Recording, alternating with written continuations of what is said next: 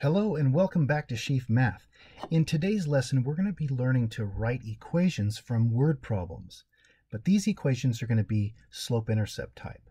That way that you'll get used to seeing these type of equations. So just a little review of slope-intercept equation. It's uh, y equals mx plus b, and I'm sure that you have uh, have done work with the uh, generic form of the slope-intercept, and so uh, in this equation, we have m, which stands for the rate of change or the slope. Um, it's how much it's going up or how much it's going down. And then we have the initial value or the y-intercept. And so this is the uh, initial cost or initial term that you have at the very beginning. Now, what does the rate of change look like in real life? Okay? Because we do a lot of math on graphs and everything, but it really has nothing to do with real life. And so, what does that M look like? Well, here's some examples. How much someone makes per hour. This is a rate of change. For every hour you work, let's say you make $12 per hour, you'd keep adding 12 each hour, after each hour, and that's how much you would make. Okay? That's a rate how much a plant costs each. If you bought one plant, or two plants, or three plants, or four plants, you would keep adding the cost of each plant each time you decided to buy another one. A monthly fee for joining a gym. So this would be uh, like, let's say you had to pay $50 a month at your gym. You know, that would be 50 and then 50. It would keep going up by 50, how much you would pay in total and then miles per hour in a car. And so this is how many miles you actually go in one hour. So let's say you went 60 miles per hour. You would go 60 and then you'd add another 60 and add another 60 for your total miles. Okay, what about the initial value? What does that look like, the B, the y-intercept? Now this is the initial term or initial cost. And so here are a few examples. How much money you started with in a bank account. If you opened up a bank account and put in a certain amount of money, that would be your, your initial value. And then you might add to it each time, you might take away from it, but that initial uh, value is what will it will never change. It's constant. And then the upfront registration fee at a gym. I don't know why we have so many gym problems, but um, the upfront fee is like, let's say you were going to go join a gym and they charged you a sign up fee of $25.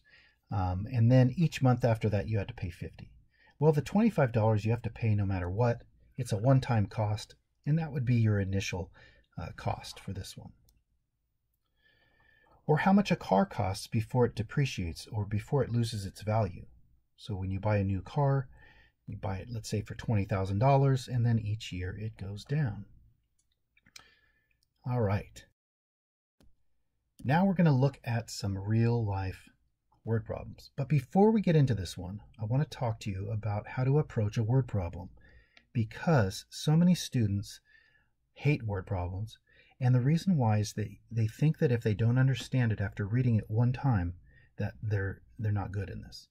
But I'm telling you that I have to read word problems over and over, and your teacher has to read them over and over again. And mathematicians who are brilliant have to read them over and over to understand them. It's not, it's rarely possible to read it one time and know exactly what's going on. So here we go. Tom opened up a savings account with $150. Each month he put $20 into the account as savings. How much would Tom have after 18 months? So first we have to uh, make sure that we understand what this means, right? So let's go back. Do you know what a savings account is? That's when you put money into a bank. And so 150 is how much he starts with. He, he opens it up and puts 150 in there. Then he starts to save money. Each month he puts $20 into that savings account. Um, and then he wants to know how much he'll have after, uh, or somebody wants to know how much Tom would have after 18 months. So what we're going to do first is we're going to find our rate of change. What number is uh, causing this value to go up at a constant rate or go down at a constant rate. Um, and so that would be the savings that he's putting in each month, that 20, right? Every month he puts in 20, so it's going up in value 20 each month, straight line. And so after we, we get our rate of change of 20, we then have to find our initial value. And so that's pretty easy to see. That's the money that he puts into that savings account at the beginning. No matter how much he adds to it or subtracts to it, he will always have put that money in at the beginning, right? That would that was his starting point, 150. So that's our initial value. And so we simply have to put these values into our slope intercept form. So the m is 20 and the b is 150. So there it is. And so if we look at it, um, the 20, we're going to be multiplying that by, well, how many months that he's going to be saving. And then what we're going to add to that is how much he started with, his initial value. Now, in this particular problem, it asks about um, Tom after 18 months, how much money he had after 18 months. Now, this lesson is not about solving them, it's about writing the equation. But if you wanted to, what we would do is we would multiply $20 times 18 months. And then, after we figure that out, we would add how much he started with, which was 150. And that's how much you would get. And I'm going to let you figure that one out on your own later. Okay, our next one. Javier wanted to get a fish tank for his house. He went to the store and saw that the tank setup would cost 75 bucks. The fish were priced at $3 a piece. How much would he have to pay if he wanted 12 fish with the tank? Well, which number here is causing the price or value to either go up or down? Well, we know he has to buy the tank, right? He has to buy the tank because he's getting this uh, fish tank full of fish, hopefully. But which which number is causing it to the price to rise? Well, it depends on how many fish he buys, and so three dollars a piece. Anytime you see three dollars a piece or three dollars per whatever, that is going to be your rate of change. Okay, and leaving us our initial value or our initial cost or upfront fee, that's $75. He's going to have to buy that uh, that tank setup no matter if he has one fish or a million fish. Okay, so how would we set this up? Well, we simply put it into the slope intercept form.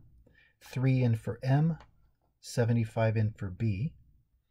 And so let's look at this. To find out how much he would have to pay, you would multiply 3 times how many fish he was going to get, X, and then you would add the tank at the end, right? And so in this particular problem, it wants to know how much it would cost with 12 fish. And so we put 12 in for X, multiply $3 times 12 fish, 36. We add 75 and we get 111, I think. You'll have to double check that later. And so that's how we set it up for this one. Okay, here's a new one. Kimmy bought a new car for $12,000. Each year the car's value decreases by 500. How much will the car be worth after 7 years? Now, I kind of talked a little bit about cars decreasing in value, but um, I'm not sure if you know this, but when you buy a new car, um, it immediately starts to lose its value. Every time you drive more miles on it, it loses value. Yeah, there are some exceptions of like classic cars that go up in value, but um, most of the cars go down in value. And so, um, how much will the car be worth after seven years if it's going, if it's decreasing by 500? Well, what would the rate of change be? This is the number that's making the value either go up or down at a constant rate. Okay, well, we know the value is 12,000. So what is the rate of change? It's going down 500. How do we write going down by 500 or decreasing by 500? that would be minus 500. And so then what would our initial value be, right? The initial value of a car is $12,000. So we would put 12,000 there. And so we're going to set up our equation, put negative 500 in for M and 12,000 in for B, our initial value. And so how you would figure out after a certain amount of years is, well, you put in the number of years in for x, multiply it by minus 500, and then you um, combine it with 12,000 and it'll be a negative number, um, adding to the 12,000, giving you something less. So for this particular one, we would put 7 in for the x, the number of years. So negative 500 times 7 years would be negative 3,500. And so negative 3,500 plus 12,000 is going to bring down the value 3,500 bucks, which comes to, I think, 8,500. So these cars start losing value. Just a quick note never buy a new car, always buy a used car about two or three years old. Okay, that was my uh, just little tip for you. Okay, there we have it. You just learned how to write equations from word problems in the slope-intercept form. I hope this helped. Um, uh, I always encourage my students, and I want to encourage you to, to always read a question more than one time. Um, like I said, your teacher, myself, we we have to read them over and over again to understand them as well. Okay, it's just it's nearly impossible to do it from one read. All right. Well, thank you for watching it, and we'll see you next time.